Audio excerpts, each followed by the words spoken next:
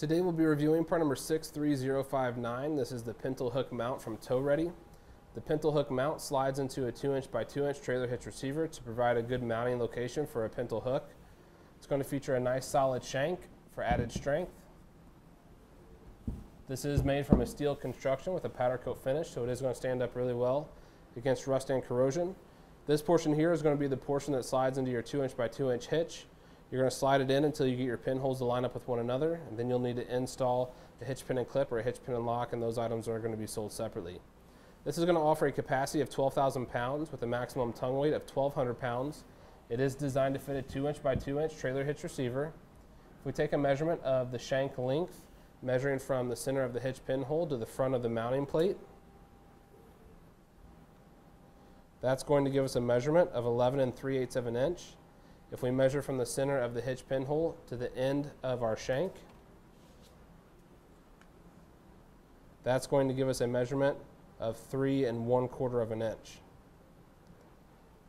Here at the front, our plate is going to measure seven and a half inches tall by five inches wide.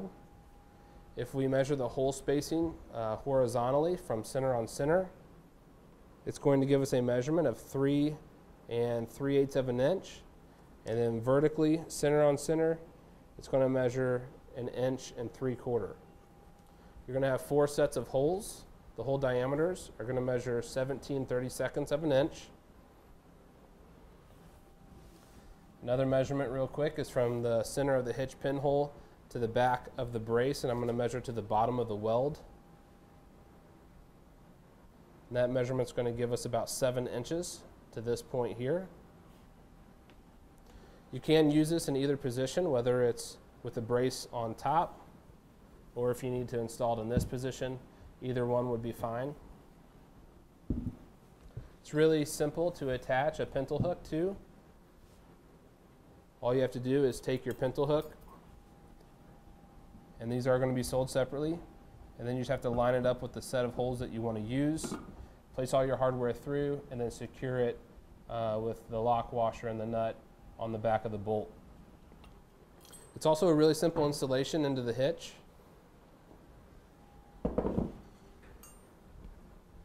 The shank is going to slide in, and then you just got to line up your pinholes. And then you'll need to secure it using a hitch pin and clip or a hitch pin and lock. For our demonstration today, I'm using a standard 5 8 inch pin and clip. This can be found on our website using part number PC3. So once you have it secured inside your hitch, all you need to do is make your connection and you'll be set to go. That's going to do it for our review of part number 63059. This is the Pintle hook mount from Tow Ready.